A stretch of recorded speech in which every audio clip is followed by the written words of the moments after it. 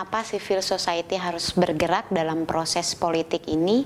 Karena proses politik yang menandai adanya pesta demokrasi kali ini bukan cuma milik segelintir orang, tapi juga milik masyarakat luas. Bukan cuma milik masyarakat elit, tapi juga e, masyarakat wong cili yang ada di bawah. Artinya untuk e, karena ini milik semua orang, milik semua masyarakat, milik semua warga negara. Oleh karenanya, civil society harus bergerak supaya apa?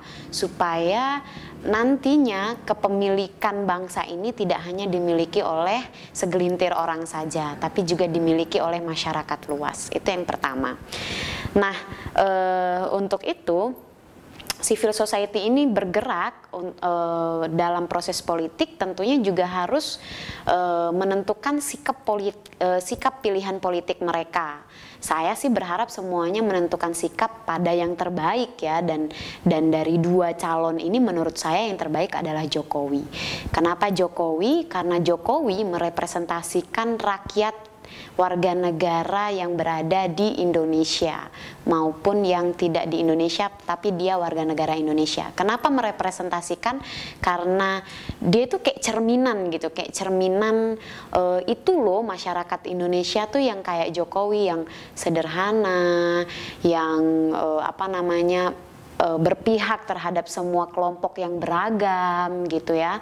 Terus e, mencintai sesama peduli terhadap sesama dan yang paling penting adalah dia mau bekerja keras untuk kepentingan orang banyak. Itu yang penting.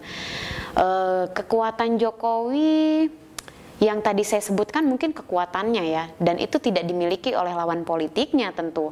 Dia ramah tidak penuh amarah dia tegas e, berbeda dengan e, buas gitu ya.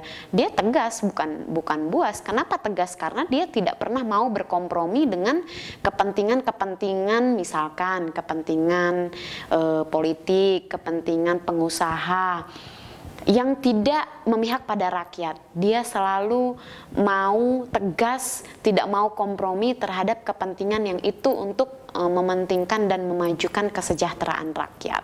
Saya kira itu uh, kenapa civil society harus bergerak, kenapa memilih Jokowi dan saya berharap semua anak-anak muda e, seperti saya gitu ya bisa memilih nomor dua. Jadi jangan lupa tanggal 9 Juli untuk coblos nomor dua. Ayo majukan Indonesia bersama Jokowi JK.